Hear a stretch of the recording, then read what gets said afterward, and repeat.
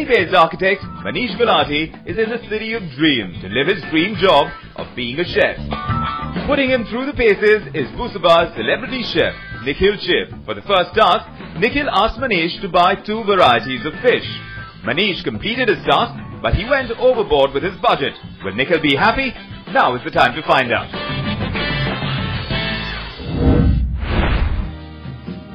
You are actually smelly today.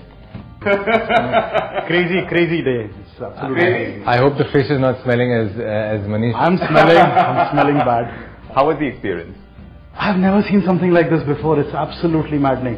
Uh, this is a fish I have not seen in Delhi. So uh, finally it just sort of occurred to me that yes, I have a cell phone. I can Google it. So I just put red snapper, see the images, and I'm trying to match the image with the fish that I see in the market. So a bit of cheating on the internet. well, it's use of technology. I mean, uh, Well, I think given the situation, uh, you know, you know, the land of internet, computers, you know, why not? Why not? As long as you get it right. Well, let's find out if he has got it right. So is this the fish you picked up? yeah. What do you Voila. Okay. Well, looks pretty good to me. You see the gills over here? Yeah. Nice. little bit of redness.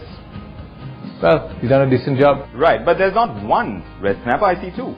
Uh, yeah, I've needed a backup plan because I know I've not done the fish before, and coming to this market is a crazy experience. I knew I can't go back there. That's a tough one, Manish, because you know if you want to become a restaurateur, you've got to think about cost. Your cost is going to go up. You're not going to make money. It's going to be charity. The Bombay duck doesn't look like it should. You know, I'm I'm, I'm feeling it's a little it's a little 50-50. Something about the color is just not appealing to me. It should be uh, should be more pink. That's what my my, my Right. feeling on this. Right, right. So, totally, how much did you spend? I spent 630 rupees. 130 rupees overboard. The budget was 500 rupees.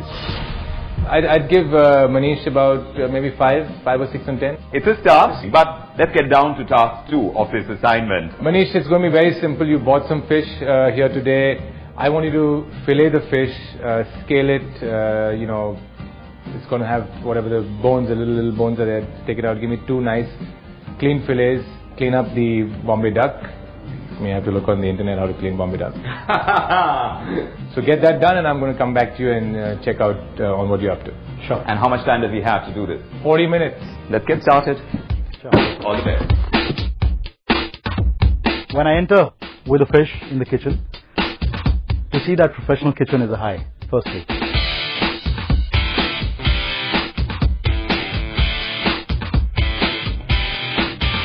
Just coming into that entire gear was exciting.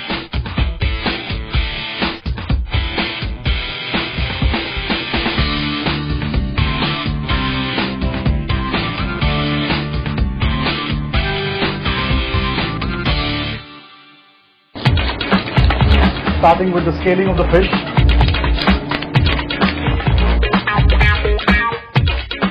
Seems to be a little hard. You gotta have a clean cooktop, absolutely clean bench. I think uh, it's better to start off with uh, red snapper. It's a tough fish to prepare.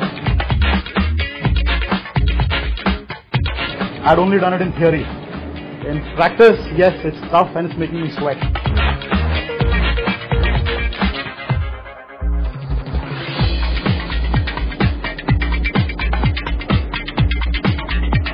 This is where your architectural training comes in. You're supposed to make straight lines, cut straight lines. For the pin bones, you just gotta feel your finger right through it, as I've been told. Never done it. You just pick each one of these out individually, which is what is the difficult part. Okay, got the culprit, the pin bone. Very important. Okay, I have only 15 minutes left, and that Bombay duck is still remaining.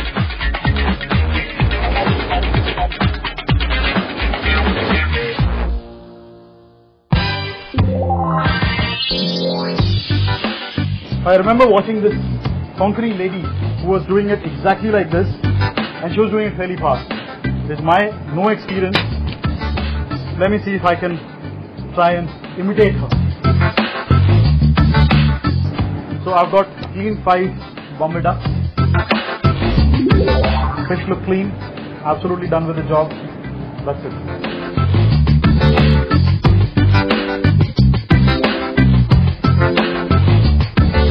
Finally, the Everest is conquered. I am going for my judgment.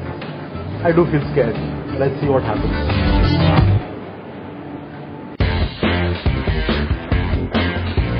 Manish, the main guy. What's happening? Uh, just got these fillets for you. Little spin, little twist. Story of life, right? I've got a five or seven kilos of onions for you. Okay. Simple job. Got to know your onions like we've discussed before. Chop them up really fine. I got hungry staff, 40 staff waiting for food for lunch. I was taken up by surprise completely. I wasn't expecting that. Although I think I should have been expecting that because as they say, the first job in a kitchen for anybody who's wanting to be a chef is to chop onions. Cut this. I want to see your speed. Wow. How you cut this? How fast you go?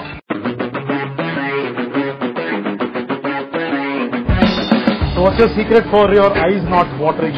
My eyes are Eyes not watering. Is there a secret? No, no secret. Go on. Okay, chef, one ground roll. Let me help you over here. Okay. First you're going to cut straight, right? Right. And then you want to cut like this, right, chef? Okay. Fingers in, chef. Okay. Boom. Finger gone. I'm finished. Okay. Okay. So, fingers in. Blade with the knuckle. Huh? See that? Right. Getting Right. close. Okay, it. okay, Go okay. quicker like that. Doing all of these in 15 minutes?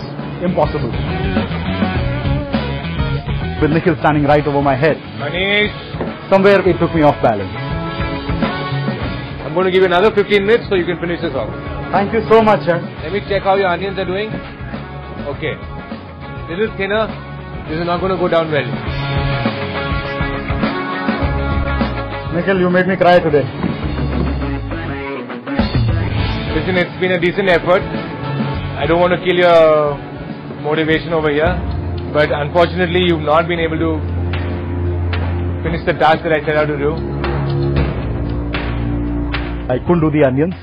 I was a bit disappointed. Uh, chopping onions is so basic, but it's extremely important in a professional kitchen. I got my learning there. The onions certainly got the better of Manish, as he failed to chop them in the time given to him. But will this affect his performance in the next task? Find out when we return